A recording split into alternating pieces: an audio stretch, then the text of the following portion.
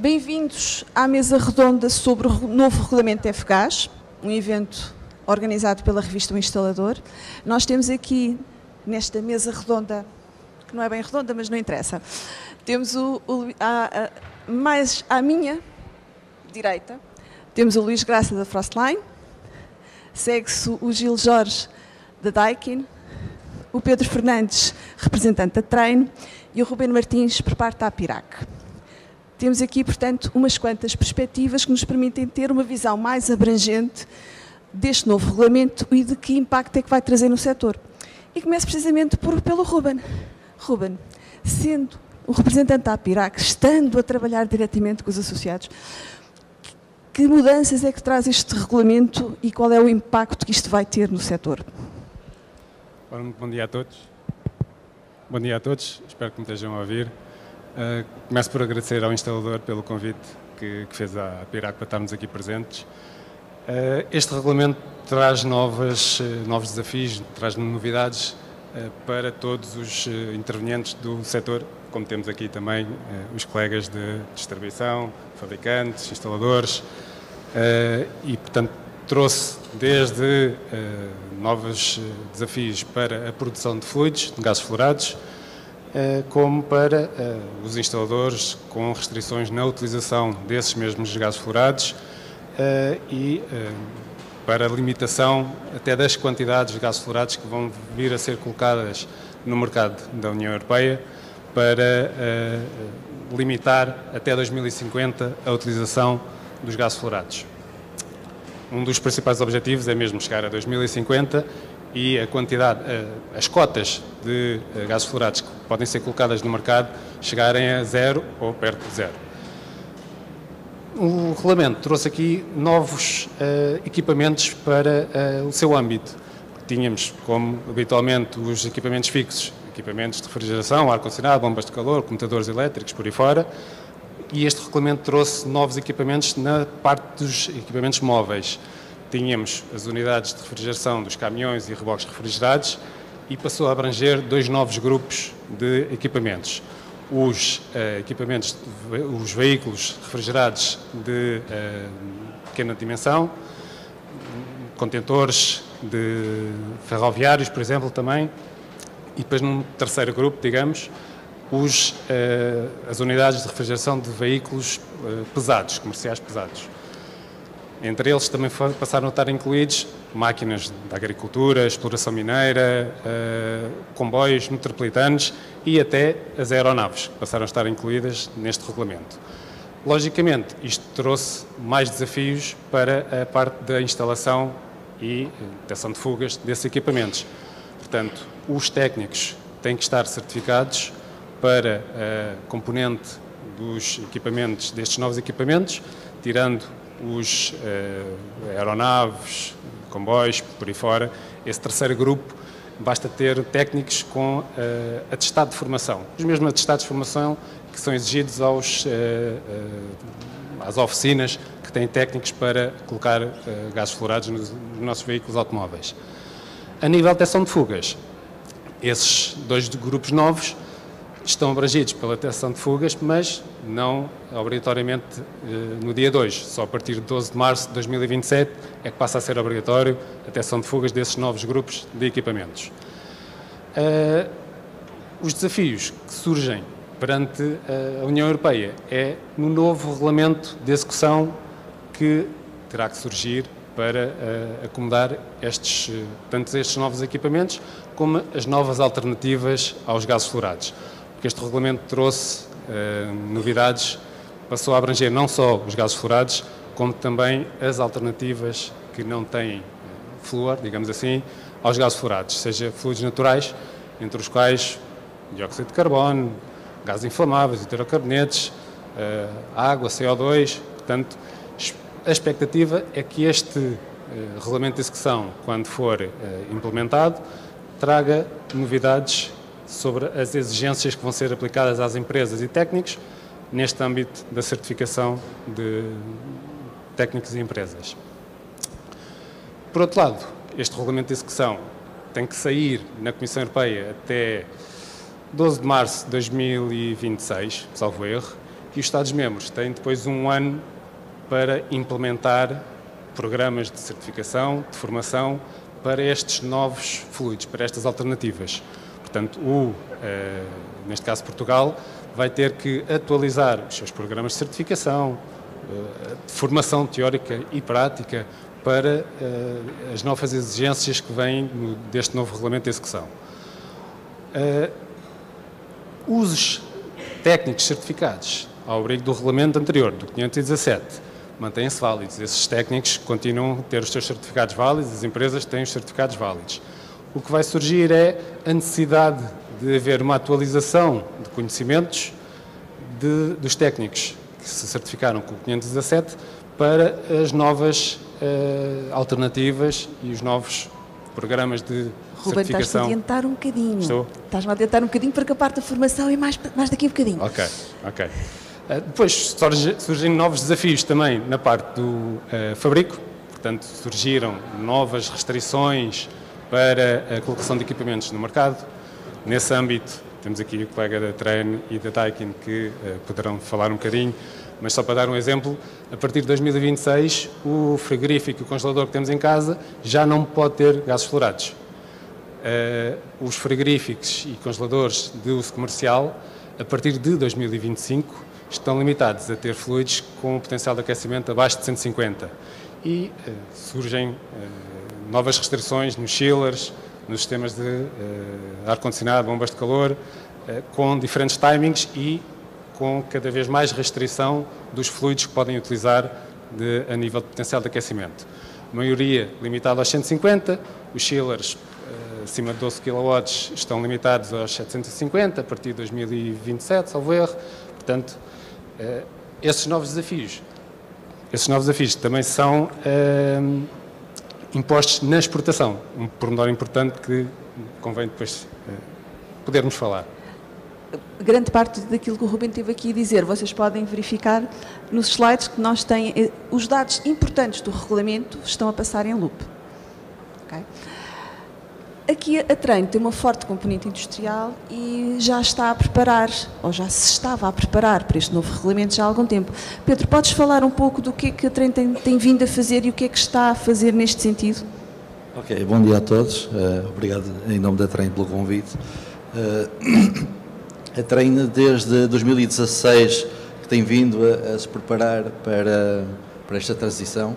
Portanto, a Trem em 2016 aderiu ao que nós designamos de compromisso climático empresarial, uh, com uh, a criação de uma carteira de produtos, na altura foi designada de produtos EcoWise, onde uh, começamos por lançar a gama síndice com compressores de tecnologia de parafuso com a R1234ZE. Aliás, foi o primeiro no mercado a entrar nessa altura com refrigerante quase nulo, com HWP de 7, e paralelamente na gama de compressores centrífugos com o R1234 uh, ZD, tem um HWP de 4. Um, ao longo deste, destes anos, uh, pois foi, foi evoluindo e é no culminar de 2023 toda a gama uh, de produtos uh, estão com gases com HWP baixo ou ultra baixo. Quando falamos de, de refrigerantes, normalmente estamos a associar também tecnologias de compressores, ou seja, quando falamos de compressores tecnologia de compressores parafuso, uh, ou de levitação magnética, normalmente estamos a falar em refrigerantes, que é o R164ZE, o R513, R515, uh, e todos eles estão abaixo do valor que a, nova legislação atualmente impõe, ou seja, para uh, refrigerantes, uh, perdão, para chillers com capacidade superior a 12 kW, o limite de GWP é de 750, ok? Ou seja, um, a partir de 2027, de janeiro, mais propriamente, uh, os equipamentos com capacidade superior a, a 12 kW não pode ter um GWP superior a, 750. Portanto, nesse, nesse capítulo a Train uh, fez uma, uma, uma transição uh, já desde 2016, conforme referi, e acabou em 2023 com todo o seu portfólio de produtos uh, com, com refrigerantes de baixo GWP. No caso do setor residencial, onde se inclui uh, unidades abaixo de 12 kW, que para ser franco, também não é, não é propriamente a gama onde a treino está mais inserida no seu dia a dia, ok? E aí depois passava aqui a palavra ao colega Gil para falar mais um pouco sobre, sobre, esse, sobre esse tema. Exatamente. Gil, a Daikin tem uma forte presença no setor residencial. Um, e sem desprimor para o setor industrial, que é a nível de dimensão, o setor residencial é mais a nível de quantidade, estamos a falar de uma maior dispersão. Como é que a Daikin está-se a preparar para ter um portfólio que seja cumpridor deste novo regulamento que, que, e que alterações é que isto traz ao, ao negócio, à linha de fabrico, ao Departamento de Investigação e Desenvolvimento? Ora, boa tarde a todos e começo por agradecer uh, o convite à, à empresa instaladora. Um, o regulamento FGAS uh, procura reduzir o impacto ambiental da indústria da AVAC, nomeadamente no que diz respeito às emissões de CO2 equivalente. E esta é também a ambição da Daikin, uma vez que assinou em 2016 uh, uma carta de isenção de se tornar neutro em emissões de carbono até 2050. Estamos, portanto, alinhados com a política de uh, descarbonização da União Europeia. O caminho da descarbonização da indústria está inevitavelmente associado a alternativas que representam maiores desafios a nível de segurança para os nossos equipamentos. A Daikin foi pioneira na introdução de uh, equipamentos ER32 há já mais de 10 anos. E entrando na parte dos refrigerantes e como é que nós estamos a fazer esta transição, um, o R32 é totalmente um refrigerante utilizado na esmagadora maioria dos equipamentos de ar-condicionado baixa e média potência térmica. Um, tanto condensação a ar como condensação a água, tanto a ar como a água. E veio substituir-se em larga escala o R32, que tinha um GWP de 2088 e que era um refrigerante classificado como A1, ou seja, de baixa toxicidade e não inflamável.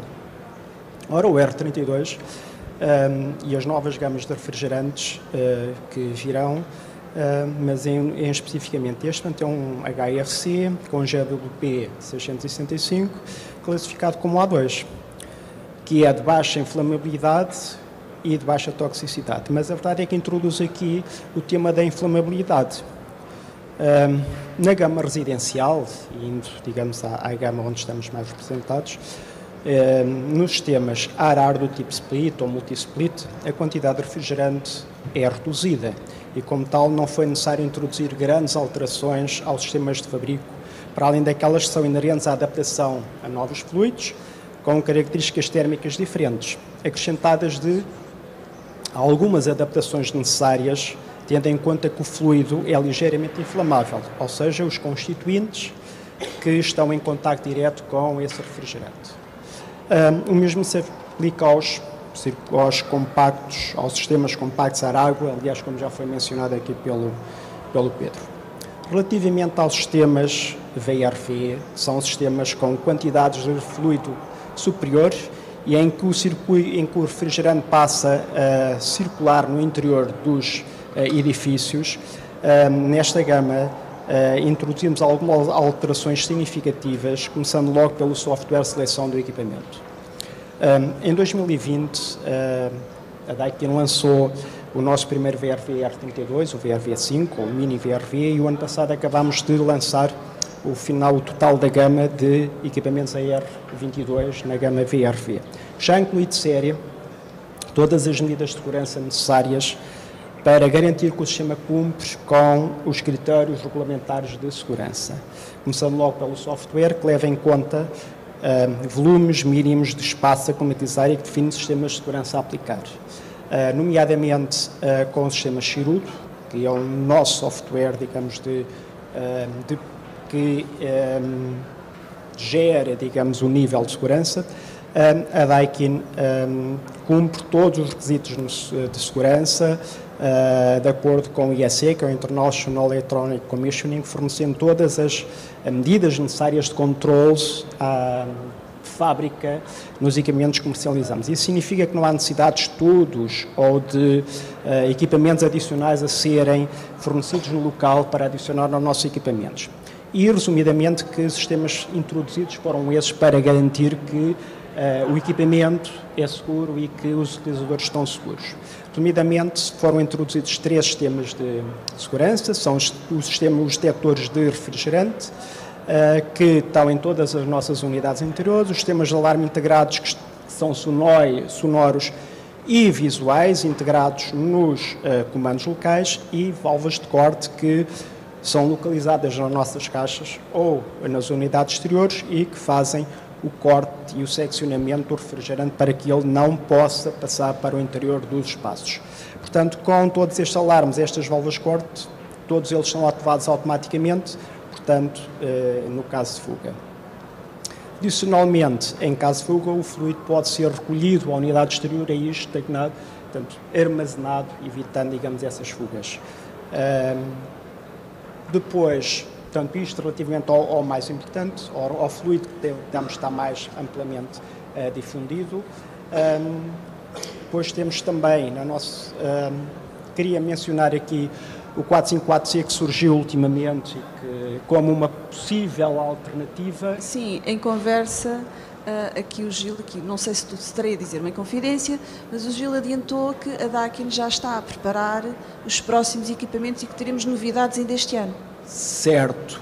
Um, para este ano nós vamos lançar um, fluido. Já, já, já, já segundo o, o regulamento. Estamos já sempre a falar do regulamento. Sim, sim. Ou seja, um, o que é que está e o que é que está a surgir e qual é a tendência neste momento, de acordo com o novo regulamento. Portanto, a tendência é ir para os fluidos naturais, CO2, amoníaco e os, os uh, fluidos hidrocarbonetos, ou os hidrocarbonetos. Dentro dos hidrocarbonetos, de facto, o R30, o, o gás propano, ou o R290, com o GWP3, está a ser, uh, tudo indica, o novo próximo, o novo fluido frigorigéneo para uh, os equipamentos de baixa e média potência térmica.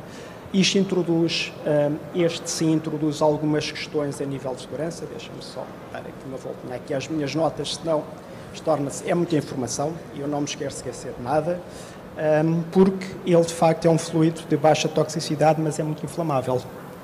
Portanto, passando a utilizar este refrigerante nos equipamentos de ar-condicionado, vem introduzir alterações a nível do fabrico, este sim. Uh, nos componentes a utilizar, as medidas de proteção incorporadas de fábrica nestas unidades, uma vez que o contacto deste fluido com uma fonte de ignição poderá originar uma explosão. Portanto, e aí depois sim, entra, entra o Luís. O Luís, que tem a experiência de instalador e que nos, nos pode explicar um pouco qual é, que mudanças é que este regulamento traz e, e, pegando um bocadinho aqui no que, no que o Gil acabou de falar nesta questão da segurança.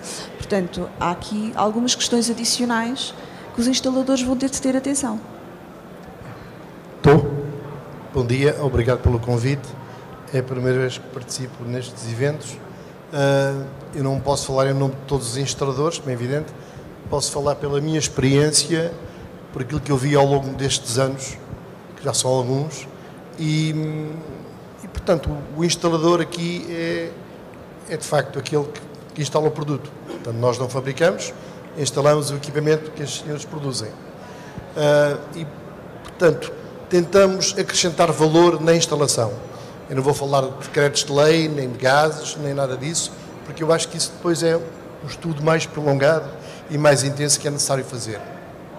Eu tenho a consciência, e todos nós temos a consciência, que os instaladores vão se adaptando, vão crescendo, vão, vão tirando os cursos, as empresas vão uh, fomentando também os cursos aos técnicos uh, e vão seguindo este caminho de, de acompanhar as necessidades e, e, os objetivos ambientais. Agora, uh, o que eu acho que é importante para os instaladores, e não posso falar em nome dos instaladores, como é evidente, falo só para aquilo que eu, que eu conheço, é haver um apoio, um apoio no sentido de fechar aqui alguns ciclos que têm a ver com a relação do instalador com o fabricante ou com o representante do produto, para que consigamos, eh, perante os, os clientes, apresentar soluções que sejam economicamente viáveis, amigas do ambiente e que de facto funcionem. Portanto, é isto que os instaladores, no fundo, pretendem. Uh, há, muita, há muito tema que temos que debater no futuro ou nos próximos tempos, sobre esta relação instalador-fabricante. Porque se não houver instaladores, o produto fica parado, certo? E, e portanto, este, esta ponte, esta ligação entre o produto e a instalação é fundamental. E se não houver aqui algum critério sobre o que é que é um instalador, o que é que ele faz, o que, o que é que ele representa no mercado, das duas uma, ou as empresas de instalação não se vão formar, ok? E o cliente final fica prejudicado. Porque é um produto que existe, que tem qualidade, mas que depois não é bem instalado ou não é instalado. Luís, e consideras que agora com o novo regulamento essa necessidade desse estreitar de relação vai ser ainda mais premente, vai ser ainda mais necessário? Eu acho que já é tarde, mas, uh, como costuma dizer, enquanto há vida há esperança, não é? Eu, eu, eu sempre defendi que as marcas têm que ter uma relação muito próxima do instalador, seja em termos económicos, seja em termos técnicos, seja em termos de formação. Porque uma empresa, eu falo por uma empresa que eu represento, formar um técnico tem um custo.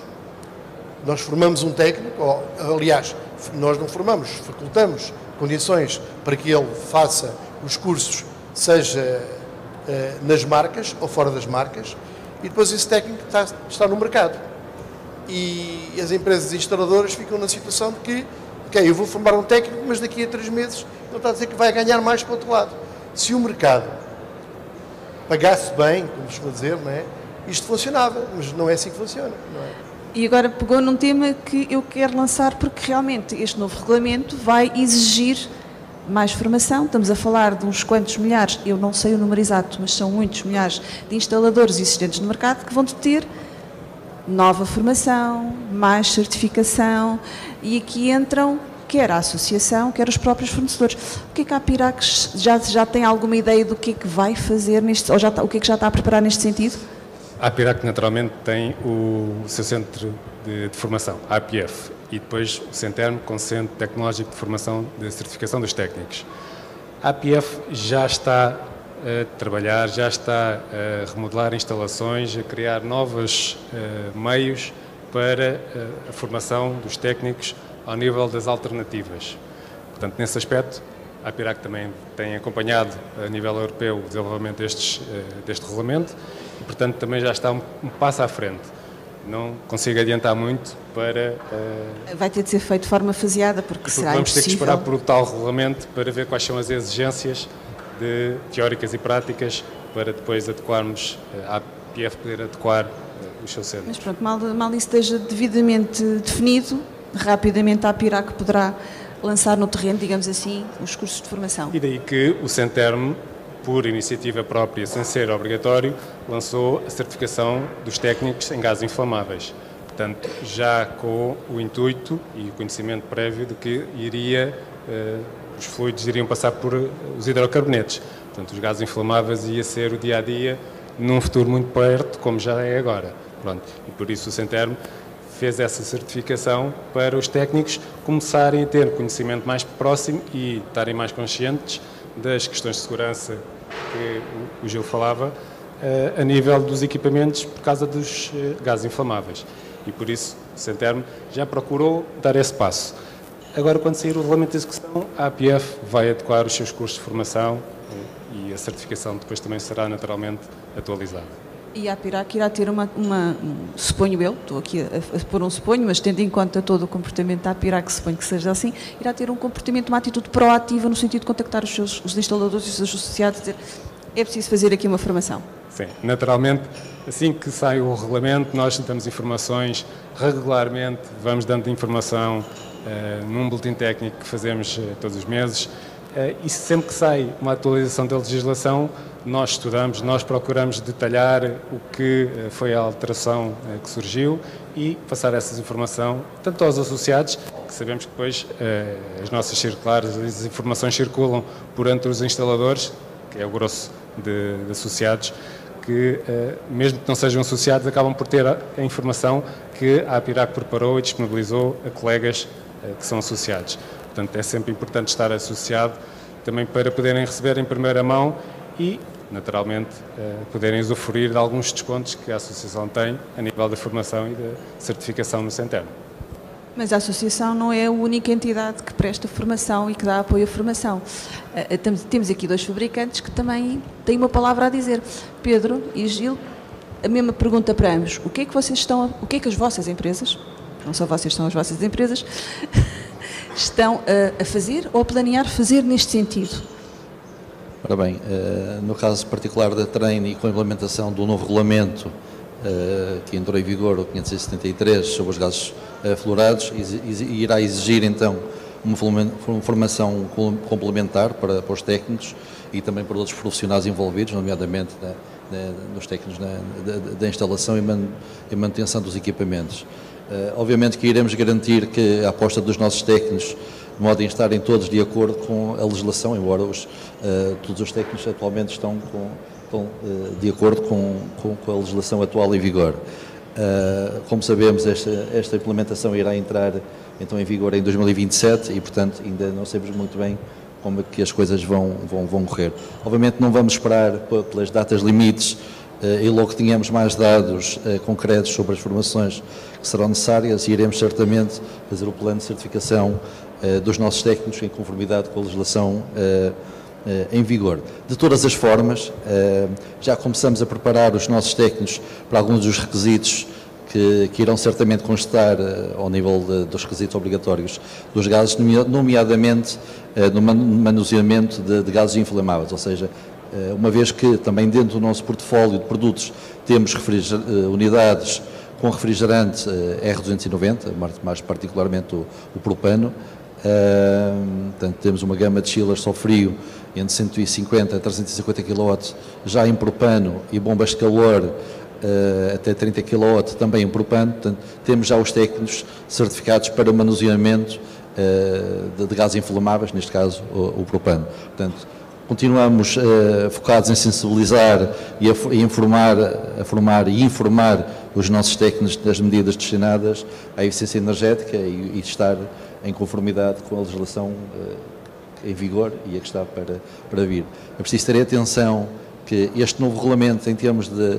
Dos, é, é muito ambicioso, ou seja, até 2030 temos que reduzir até 80% na, na, na, na redução de, de, valor GWP, portanto é muito ambicioso, ainda é mais ambicioso do que, o, do que a legislação anterior e, portanto, tem que haver o contributo de todos, a nível do fabricante, instaladores, para, para atingir essas metas.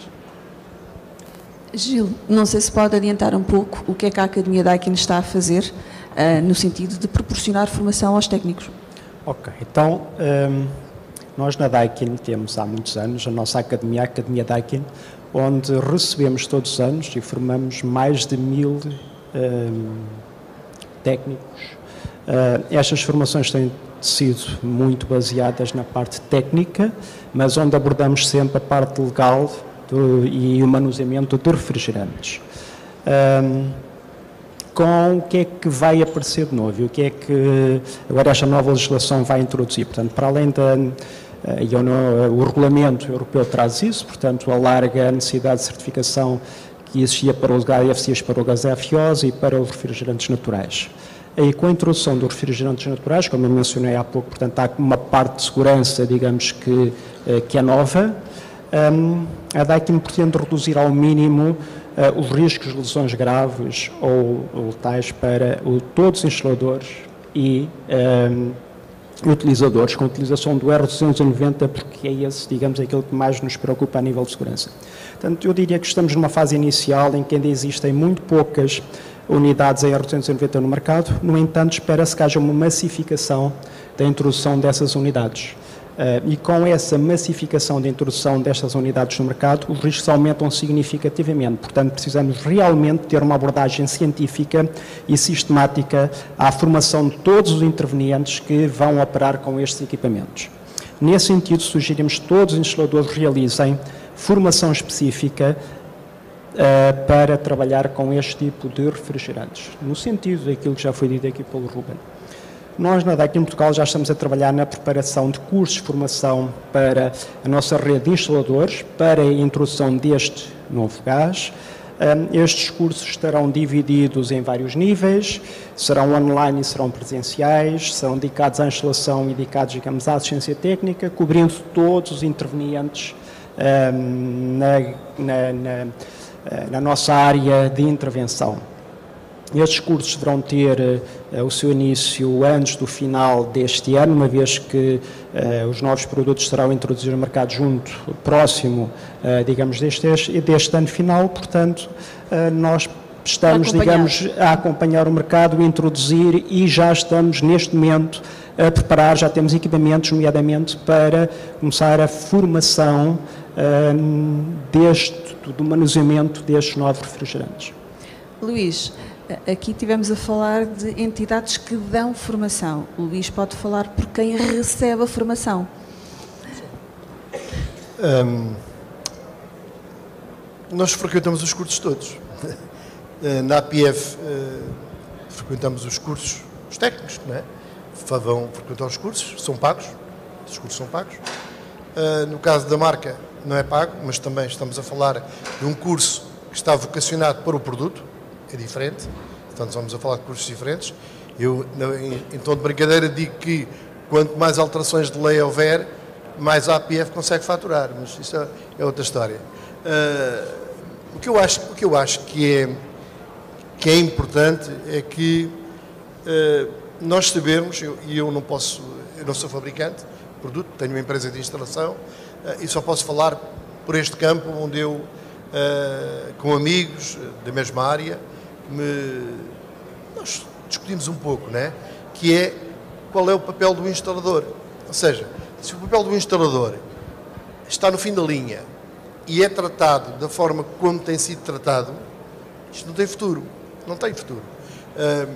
Porque há, há, há várias opções. Ou as marcas criam equipas de instalação, instalam o seu produto, dão assistência, fazem tudo, a manutenção inclusive, ou então não criam estrutura, usam os instaladores para fazer esse trabalho da instalação, da assistência, da manutenção, da pós-venda, da garantia.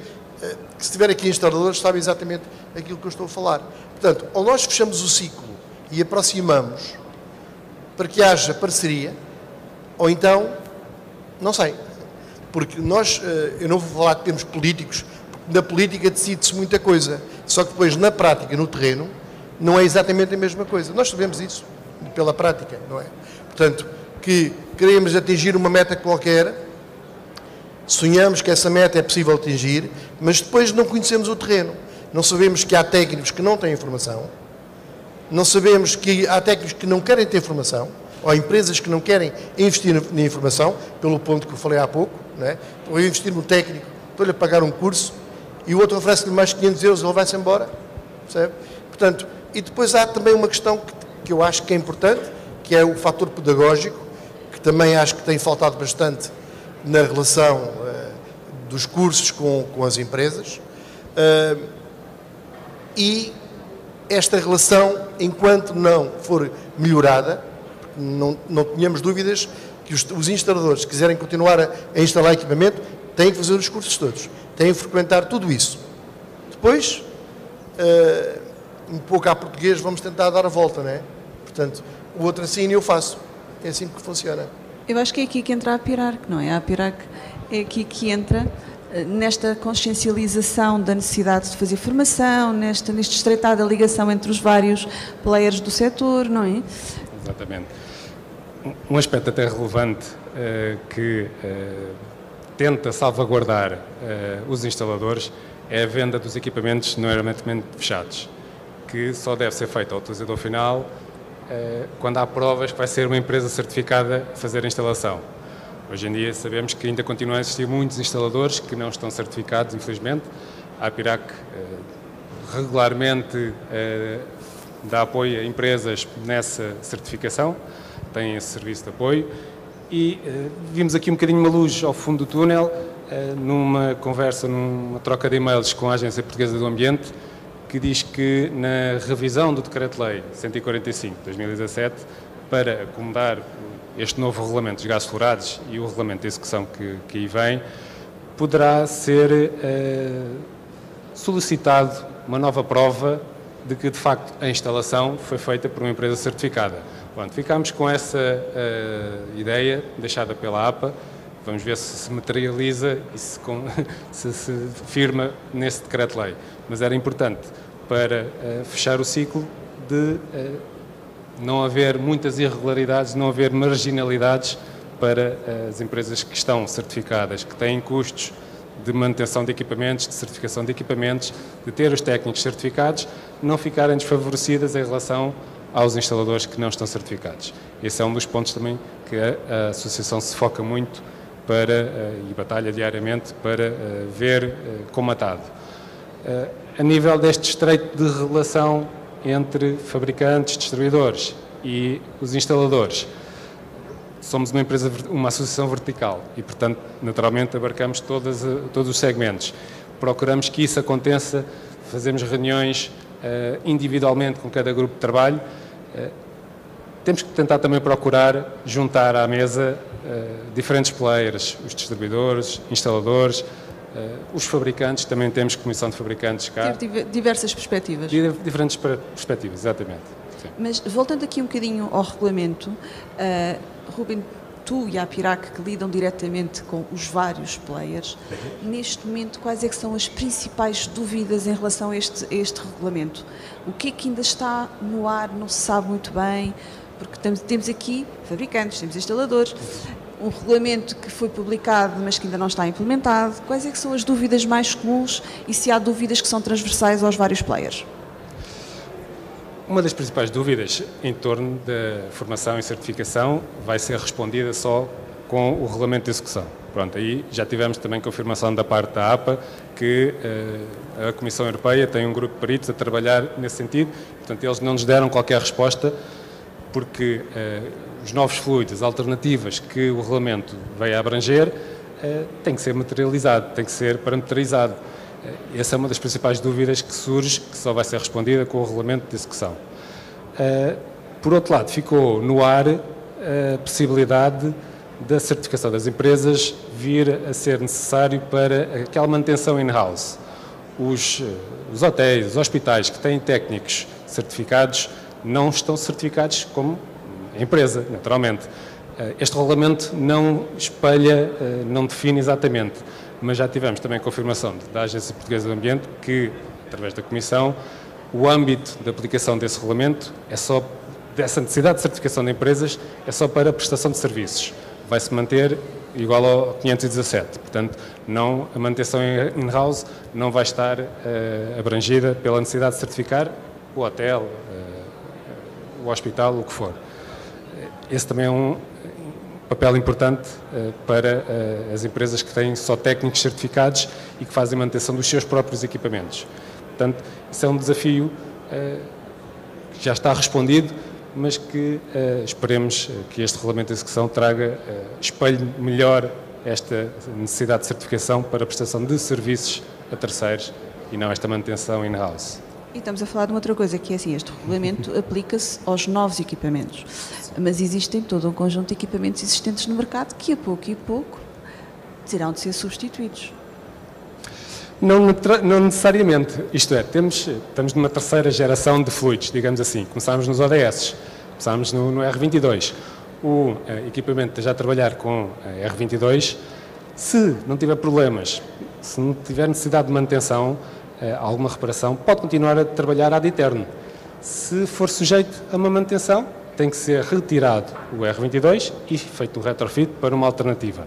Uh, naturalmente, o, uh, com o, este novo regulamento, estes gases fluorados também vão, vão ter que ter em atenção uh, a substituição de fluidos para fluidos com potencial de aquecimento mais reduzido, pelas restrições que também se impõem agora na, na manutenção.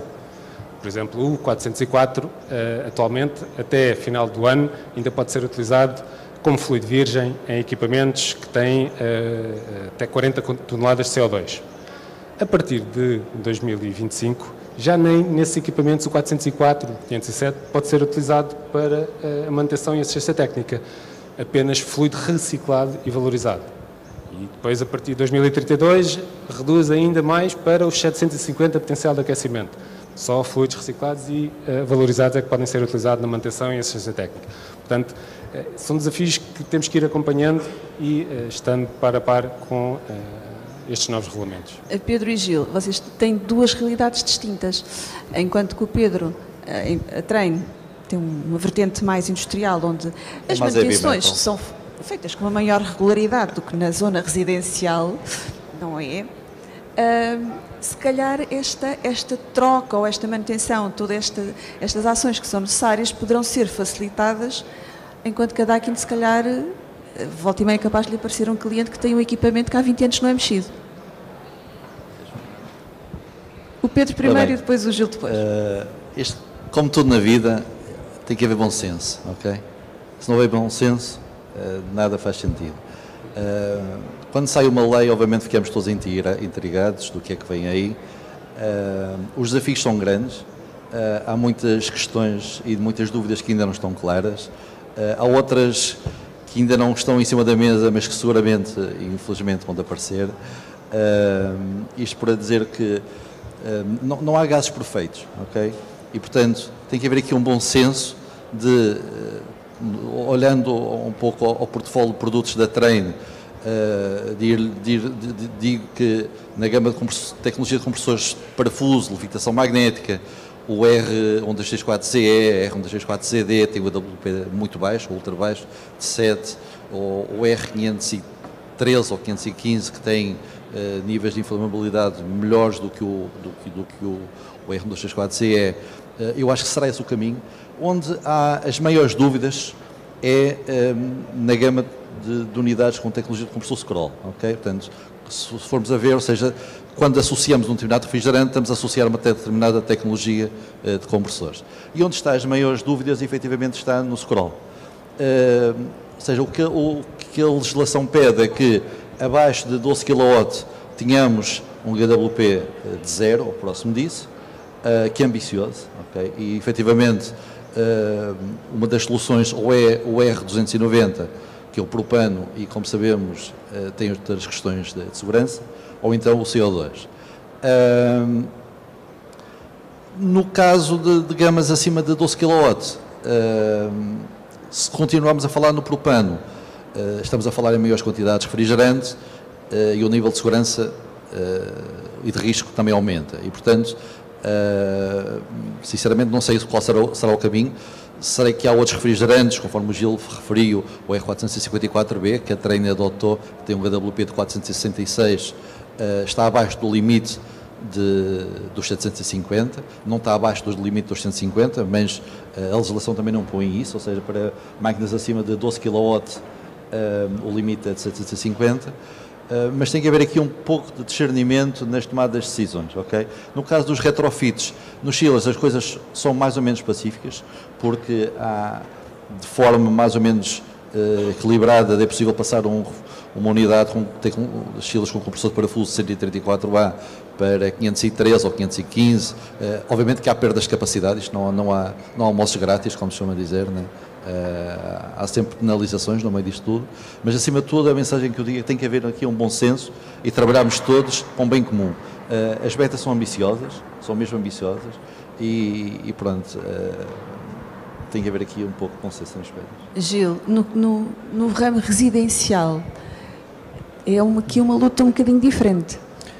Um Diria o seguinte, nós temos para além, nós estamos aqui focados na, na gama um, residencial relativamente à, à Daikin, mas nós temos toda a gama uh, desde a gama Sim, eu mencionei residencial porque é o, é o vosso maior ponto e, e também para fazer uma uh, diferenciação ali com a E entre estes dois uh, fabricantes estão aqui representados hoje é de facto esta, mas para, deixar, para deixar claro.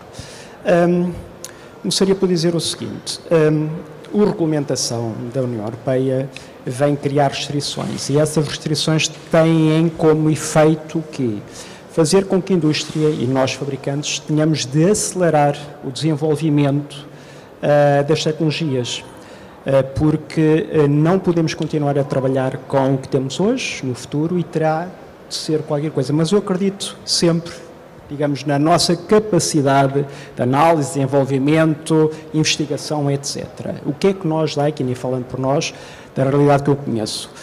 nós investimos fortemente na Europa a nível de desenvolvimento e por isso criámos um novo centro, e, para inaugurar, um novo edifício enorme na Bélgica, que é o novo Centro de Investigação e Desenvolvimento da Aiken em que é um investimento muito significativo, significativo de muitos milhões de euros para desenvolver. Portanto, estamos a apostar fortemente no desenvolvimento um, de novos produtos, refrigerantes, o que for, tudo aquilo que tem a ver, digamos, com a nossa área de formação. Portanto, estamos fortemente empenhados um, e tanto é que temos provas disso e estamos, digamos, com uh, inauguramos em breve, digamos, este novo centro.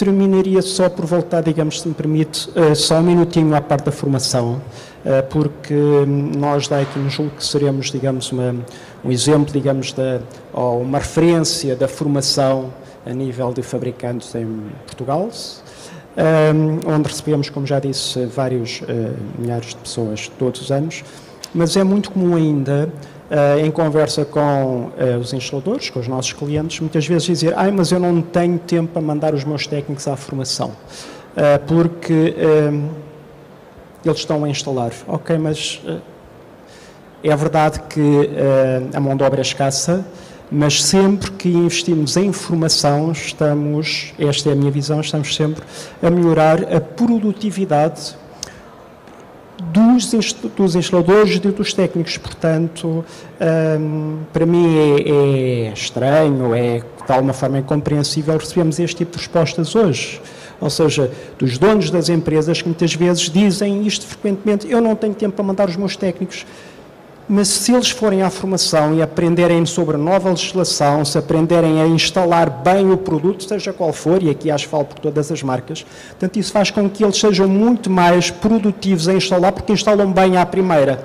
Portanto, a formação traz sempre um retorno muito mais elevado do que aquele que se investe no tempo de formação uh, de todos os, os, técnicos. Portanto, esta é a minha visão e queria deixar aqui isto claro, porque... Uh, acredito que isso é uma verdade. Obrigada, Gil. Nós estamos quase a terminar, mas temos tempo para perguntas da plateia. Se alguém tiver alguma questão, por favor, levante o braço. Estão todos muito tímidos, ficaram todos completamente esclarecidos. Incrível! Isto uma coisa normalmente rara. Isto ficaram completamente esclarecidos, fantástico. Ninguém tem mesmo nenhuma pergunta? Então tenho eu. Vou lançar aqui um, um último, uma pergunta um bocadinho desafiadora. Falou-se nas datas, falou-se nos desafios que são ambiciosos. É aqui. E vocês consideram Portugal está em boas condições de os cumprir? Vamos conseguir atingir as metas definidas? Eu acredito que sim. Uh, lá está, uh, quando sair o regulamento de execução, vamos procurar adequar logo os nossos uh, programas de certificação, cursos de formação para as novas exigências assim como aqui os fabricantes, distribuidores, que eh, farão no mesmo sentido, sendo eles focados diretamente nos seus equipamentos. A APF, sem termo, vai abranger uh, a formação no, seu todo, digamos assim. Mas acredito que sim, vamos conseguir estar uh, par a par do, dessas novas exigências. Pedro, Gil, concordam? Sim, concordo plenamente. Não tenho dúvida que vamos, eh, vamos cumprir as metas, até porque, no, tanto no caso do nível da trem, como com certeza que a Daikin, eh, nós quando pomos um produto no, no, mercado, não é só para Portugal, ok? Portanto, nós pomos um, um, um produto para ir de encontro com a legislação não só da União Europeia como de outros países. De, de, mas no caso particular da Europa, quando todo nosso, o nosso portfólio de produtos não é exclusivamente para Portugal, como, como, como é compreensível. Portanto, estas metas estão a ir de encontro com todos os, eh, com todos os países da União Europeia. Portanto, uh, Posso-vos dizer que atualmente 90% ou 95% do nosso portfólio de produtos que pomos no mercado português já tem GWP inferior a 750. E, Sim, portanto, mas o que foi aqui dito uh, é que não basta ter o produto, depois é preciso que o instalador tenha a formação adequada. Sim, mas uh, uh, normalmente no, no, tipo de, de, equipamento, sejam bombas de calor, sejam chilas, VRFs, o VRF é um ligeiramente diferente, mas são circuitos fechados, ou seja, ao nível da instalação, por exemplo, no caso de uma rooftop, a rooftop tem um refrigerante, o R32 ou o R454B, no caso particular da Trainer, o R454B, mas o instalador, no caso particular de uma rooftop, trabalha mais ao nível de, de, da parte de aerólica do que propriamente ao nível do circuito frigogéneo. Ao nível do chiller também é exatamente igual, ou de uma bomba de calor. Uh, acho que o desafio uh, é, é um desafio de todos, da parte da formação, da parte do fabricante e, da, obviamente, uh, e principalmente da, da, instalação, mas há determinados equipamentos que efetivamente são, são herméticos, são fechados e, portanto. Uh, não haverá muito problema. Não haverá muito problema. No caso particular de, só fazendo aqui uma, um, um à parte, uh, uh, ainda também de encontro com, a, com, este, com, estes desafios, a Train vai fazer o investimento também de um laboratório de máquinas para propano, ok? Portanto, porque uh, uh, esse tipo de máquinas, conforme falei há pouco, uh, são máquinas que requerem um nível de segurança e de exigência suplementar e, portanto, vamos fazer um laboratório também do investimento de, dos largos milhares de euros para testar essas máquinas, porque têm requisitos de segurança mais apertados. Gil, vamos conseguir? Eu julgo que sim. Uh, nomeadamente, uh, a nível tecnológico, acho que se calhar a maioria dos, dos fabricantes estão a preparar-se devidamente. Uh, nós, Taikin, já iniciámos nisto há muito tempo. Como mencionei há pouco, fomos pioneiros há mais de 10 anos na introdução do R32, portanto, um, julgo que iremos estar com certeza preparados para os novos desafios que aí vêm. Uh, já mencionei o Centro de Investigação e Desenvolvimento uh, do, um, europeu que uh, já está fase final. Vamos ter uma nova fábrica a inaugurar ainda este ano específica sobre a produção de, de unidades AR290, portanto aquilo com o GWP abaixo dos 150, portanto de acordo com o novo regulamento da União Europeia. A nível de formação, no que nos diz respeito, nós há muito tempo que, que temos uh, o nosso centro de, de, formação, portanto, juntamente com a APF, uh, que com certeza irá uh, lançar vários cursos de formação assim que o regulamento e a nova diretiva sair. Eh, nós, na parte técnica, também estamos preparados para dar resposta ao mercado, ao nosso centro de formação, portanto, acredito que sim, vamos conseguir cumprir as metas que nos serão impostas e estamos preparados para cumprir e sermos uh, exemplares, eu não diria exemplares da Europa, mas sim cumprir aquilo que uh, nos vai ser uh, dado para cumprir. Acredito Estamos pelo menos na linha da frente, digamos assim. Eu julgo que sim, não há Luís. razão para acreditar que não vai acontecer. Luís, concorda com esta uh, opinião unânime que foi aqui mencionada? Oxalá que sim. Oxalá que sim. Eu acho que os químicos e os engenheiros vão acabar por encontrar uma solução. Vai demorar tempo. A única coisa que eu chamo a atenção é que tem que haver alguma maturidade e não meter no mercado uh, produtos ou artigos que em pouco tempo há alterações. Estas alterações têm impacto na indústria tem impacto depois também nas empresas instaladoras. Portanto, se não houver aqui algum cuidado, vamos andar a mudar de camisola todos os dias. Andar um bocadinho mais, se calhar andar um pouco devagar, mas mais seguro, digamos assim. Sim, sim, sim. sim. Porque eh, nós podemos ter um produto muito bom, eh, funciona tudo muito bem, os técnicos têm que estar certificados, mas eh, isto é um, uma piada, não, não levem a mal, se cada vez que limitássemos gás para a atmosfera explodisse, havia fogo de artifício todos os dias. Porquê? Porque uh, a formação não é só formação. Tem que ver consciência, educação, preparação, tem que ver todos esses fatores que são as empresas que têm de transmitir aos colaboradores, mas principalmente os técnicos. Se eles não tiverem consciência, bem podemos fazer decretos, leis, gases, funcionam todos muito bem, que depois não há quem cumpra isso. É só isso. Ora bem. Uh, se me permite só dar. Eu ia, per ia perguntar se algum de vocês tinha uma última palavra a dizer, porque estamos, temos um horário a cumprir. Era isso, eu ia dar uma última palavra. Não foi falado aqui sobre os donos ou os operadores dos equipamentos, mas eles também devem estar envolvidos e são parte uh, que tem de estar envolvida em tudo isto, porque de facto sem eles e sem a sua responsabilidade em manter os equipamentos a operar convenientemente, se nada disto é possível. Portanto, nós não tínhamos falado sobre eles, mas eles são parte importantíssima em tudo isto. A manutenção uh, correta dos equipamentos é fundamental para que um, os equipamentos não apresentem fugas ou, se as apresentarem, sejam um, diagnosticadas precocemente.